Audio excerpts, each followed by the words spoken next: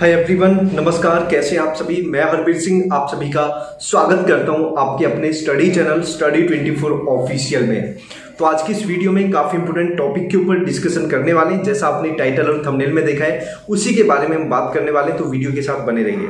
और इससे भी पहले आपको बताना चाहता हूँ कि डी ट्रिपल एस बी के किसी भी एग्ज़ाम की अगर आप तैयारी कर रहे हैं तो बहुत ही मिनिमम चार्जेस पे हमारी एक्सपर्ट टीम आप लोगों के लिए notes previous year question paper और इसके बाद मोक टेस्ट वगैरह तैयार कर रहे हैं। इवन हमारी ऐप पे मोक टेस्ट होते हैं और मोक टेस्ट किस टाइप से होते हैं नेगेटिव मार्किंग भी होती है। एक लिमिटेड टाइम में आपको सबमिट करना होता है। अगर टाइम से अगर आप सबमिट नहीं करते हैं तो वो ऑटोमेटिक सबमिट भी हो जाएगा। तो आप देख सकते हैं कि किस तरह से आपकी प्रिपरेशन है। और इसके बाद 21 डिसेबिलिटीज वाले स्पेशल के भी नोट्स अवेलेबल हैं एनटीटी लाइब्रेरी म्यूज़िक और और भी मतलब लगभग सभी के बैचेज हमारे पास स्टार्ट हैं। तो आप दिए हुए नंबर पे मैसेज कर लीजिए और fees only three hundred rupees की मंथली अराउंड में फ़ीस आपको मिलेगी। तो आप वो दिए हुए नंबर पे मैसेज करके अपनी सीट बुक कर सकते हो और अगर आप वीडियो देख के आते हैं तो आपको एक स्पेशल डिस्काउंट भी दिया जाएगा। तो साथियों, आज बहुत अच्छी खबर है आप लोगों के लिए। जैसा हम लोगों ने आप लोगों से वादा किया था कि एज के लिए जो भी हमसे होगा तो वो हम आप लोगों के लिए करेंगे। तो इसके रिगार्डिंग हमने एडवोकेट अशोक अग्रवाल सर से बात करी है, हमारे प्रदीप सर ने, हमारी टीम ने बात करी है। और बड़ी पॉजिटिव वो बात रही है एडवोकेट अशोक अग्रवाल सर ने बड़ी अच्छी खुशखबरी दी है। और अब उम्मीद ये है कि जो पीआरटी या और भी जो सब्जेक्ट्स वाले मेल कैंडिडेट्स हैं, उनके लिए भी यही खुशखबरी जल्द से जल्द आए। तो अभी एडवोकेट अशोक अग्रवाल सर से जो बात हुई है, उसकी रिकॉर्डिंग मैं इस वीडियो में डाल रहा हूँ तो आप उस रिकॉर्डिंग को ज़रूर सुने। और इसके बाद आप डिस्क्रिप्शन बॉक्स में टेलीग्राम का लिंक है, उस ग्रुप को भी ज्वाइन कर लीजिए ताकि आपको वहाँ पे इंफॉर्मेशन मिलती रहे। और ट्विटर पे भी आप फॉलो कर लीजिए ताकि आगे अगर कोई ट्वीट करें तो आप लोगों को इन्फॉर्मेशन मिलती रहे और आप खुद भी ट्वीट करते रहें। तो ये ऑडियो सुनिए और बहुत बहुत धन्यवाद आप लोगों का। जय हिंद। सर नमस्कार। नमस्ते नमस्ते। कैसे हो सर? हाँ ठीक हूँ। बिल्कुल ठीक हो ना सर?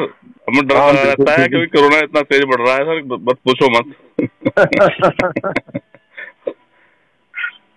सर आपसे कुछ पूछना था। क्या बताओ? सर ये जो वीमेन कैंडिडेट का जो चला हुआ है ये तो वो ग्रुप अच्छा काम कर रहा है तो कुछ आपके पास से फ़ोन भी किया था उन्होंने कि भाई केस वेस के लिए कुछ? हेलो अभी तो एक रिप्रेजेंटेशन देंगे। हाँ जी। हाँ।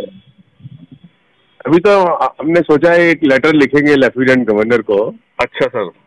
हाँ और उसके बाद फिर देखेंगे कोर्ट केस वाली बात। अच्छा अच्छा अच्छा अच्छा। हाँ। तो तो अभी तो ट्वीट अभियान चला हुआ है सर उनका। ठीक है चला रहना चाहिए जो जो जो जो कर सकता है जो करता रहे।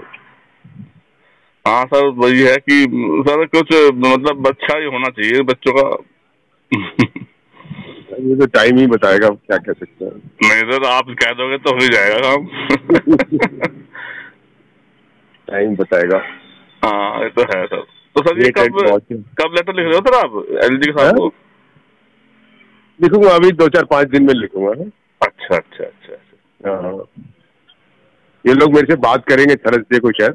उसके हम्म, बाद हम्म। हाँ उन्नीस तारीख को बोल रहे थे बात करेंगे आपसे।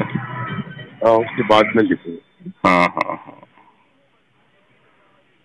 और तो- बताइए। बस सब ठीक सर।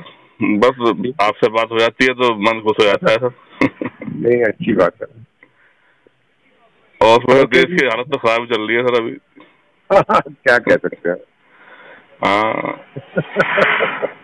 कुछ समझ में नहीं आ रहा सर फाइनली क्या हुआ कैसे हुआ आई डोंट नो देखो क्या होता है। हाँ। चलो सर अपना ध्यान रखना अपना ख्याल रखना अपना। ठीक है। ठीक है सर नमस्कार।